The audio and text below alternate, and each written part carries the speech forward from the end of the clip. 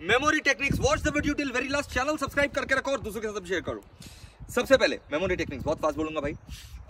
Number of points कितना याद करना है, पहले वो याद करो। अगर 10 पॉइंट है तो पहले तुम्हारे भेजे में यह जाना चाहिए कि तुम्हें 10 पॉइंट याद करना नहीं तो हमेशा आठ नौ में ही अटक जाओगे या छह सात पॉइंट में अटक जाओगे। सेकंड टेक्निक है एक्रोनिम बना लो। अगर बहुत बड़ा आंसर है हर इंपॉर्टेंट पॉइंट का फ़र्स्ट लेटर याद कर लो, हर इंपॉर्टेंट पॉइंट का फ़र्स्ट लेटर उससे एक एक्रोनिम बना लो। थर्ड टेक्निक है कोरिलेट करो पॉइंट्स को। एक दूसरे के साथ कोरिलेट कर दो पॉइंट्स को, ठीक है?